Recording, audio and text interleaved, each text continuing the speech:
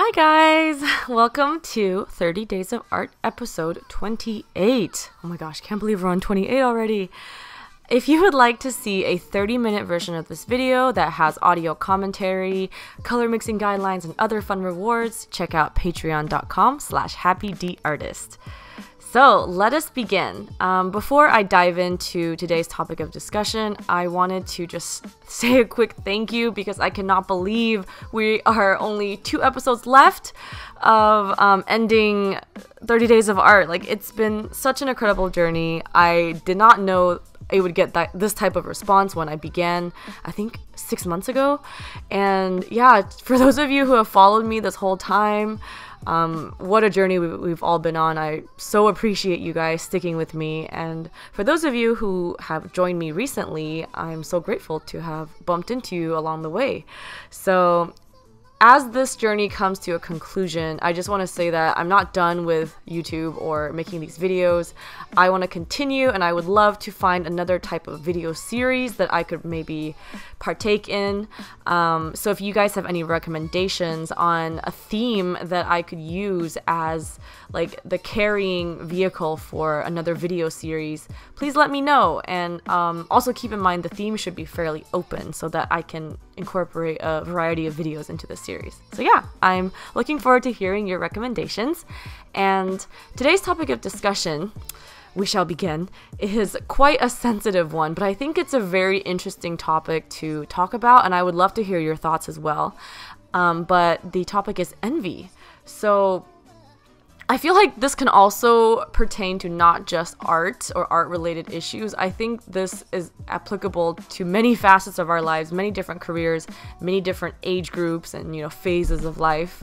So, I remember the first time I felt envy, I was a kid, and I think all of us kids are very familiar with that emotion. Um, you know, like you're envious of a more popular person in school, you're envious of someone you see on TV, or, you know, envious of someone with better grades, or maybe of a sibling. I mean, there, I feel like from a very young age, it's just such a common feeling, and it's because I think we're socially programmed to be competitive, you know, whether it's what we watch on TV or how we are ranked in school or when we take exams or, you know, the reactions that certain levels of beauty or success or money or charm, you know, the types of reactions people have to them versus the types of reactions people have to maybe introverts or people who aren't as outgoing or people who don't get great good grades or earn a lot of money. So, whatever age you are, whatever phase you are in life, envy arises from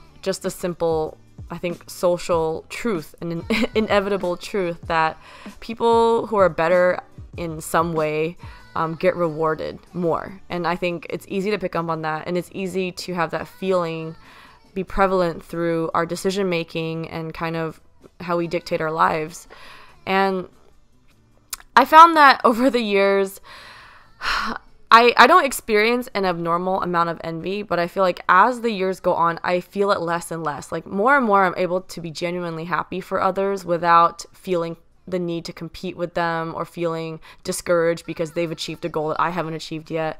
I can genuinely be happy for everyone, including strangers, you know, and I think it's because I've really I really went through a useful thought exercise. Maybe I shouldn't say thought exercise, but it's more like a way to for me to define and organize the concept of envy and then when I do that, it becomes a lot easier for me to tackle instead of just being like, oh, stop being jealous, get over it. I really try to break it down into like digestible pieces. So I thought I would share that with you guys. And basically, I categorized envy into two parts.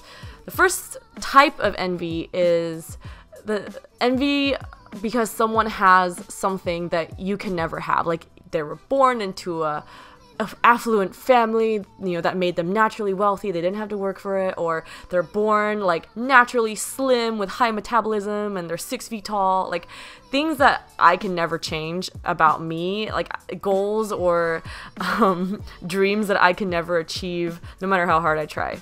Like that is a common source of envy and i think we all feel that way. And um, yeah it's it's hard to avoid that feeling especially when someone just got so lucky with the genetic lottery or you know with, with how with the family they're born into or with the opportunities that they get to have that other people have to fight for they might have it very easily. So that type of envy quite normal and the second type of envy is a is a more strange one. It's envy towards someone because they're at a place in their life that I want to be, whether that's they have better skills than I do, or they have more success, or they have, you know, a, a better reputation, more fame. Um, you know, like this is very common, I guess, like in school or in your careers. Like if someone got better grades and it's like a straight A student and it's gonna get into all the nice colleges, or you're envious of someone who's like amazing at, you know, singing or dancing or painting or anything like that, and you just wish you were that good or you wish you were at that level. Um, but that's that's the type of thing that you can change with the right amount of work. So there's two types of envy. There's envy because someone got something that you could never achieve, and there's envy that someone has something that you could achieve with hard work. So to tackle both types of envy, you have to have completely different thought processes. The first type of envy is um, something that honestly you just have to talk yourself out of. Like just realize how much time you're wasting by dwelling on something that you can never change. If you're envious because someone is tall and naturally skinny, or you're envious because someone is wealthy or has all these opportunities, or born into a famous family, or born into wealth and they don't have to work hard, I mean, that's something that no matter how much you complain about it or how down you get about it, it's not going to change. So, this is something you just kind of have to kick yourself and like try to eradicate from your mindset. Try to eradicate any of those thoughts. If you catch yourself thinking about it like snap your fingers and force yourself to stop. Because this is nothing but a waste of time. If you can't change something or you can't do anything about it there's really no point in dwelling on it. And so the second type of envy is the one i'm going to talk about more today. It's the one that's more important. And that's the type of envy that you can turn into motivation. You can harness all the energy that you um, devote to feeling jealous of someone's skills or someone's success. And instead like use that energy and turn it into productivity. Try to achieve that goal. Try to use them as an inspiration or a motivator.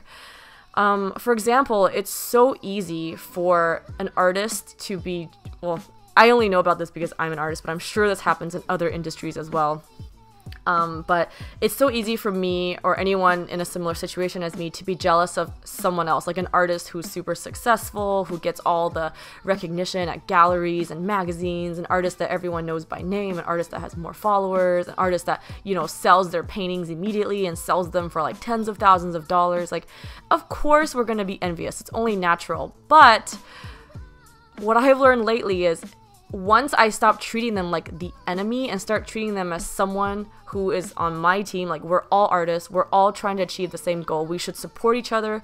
We should not be focusing on competing, rather, we should be focusing on supporting each other and being inspired by each other. Then that is when I kind of realized just how much energy and how much motivation envy can bring to the table.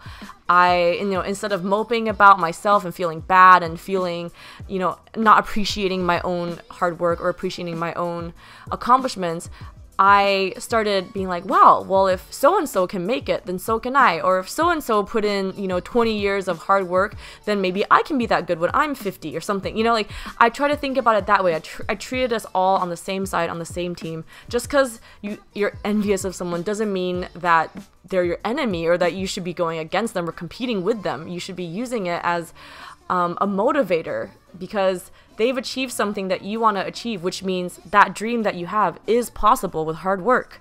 So, if you're feeling envious of someone because they have better grades than you, or are more skilled than you, or got promoted faster than you, or make more money than you, then, you know, yes, like acknowledge yourself and let yourself feel envious. Like, we can't avoid it, but try to put a positive note on it. Don't immediately feel jealous and kind of hate someone, or not hate, hate is too strong of a word, but you know, don't start disliking someone or having any negative associations with them just because they worked hard and got everything they deserved. Instead, use them as a role model and inspiration. So, this concludes the video for today. I hope you guys enjoyed it. If you'd like limited edition prints of this piece, it's available at happyd-artist.com. And before I end this video, I wanted to proudly share with you guys these amazing entries from last month's coloring challenge. It's only $1 to enter and there's a new challenge every month, so check that out at patreon.com slash happydartist. And I'll catch you guys next time. Bye!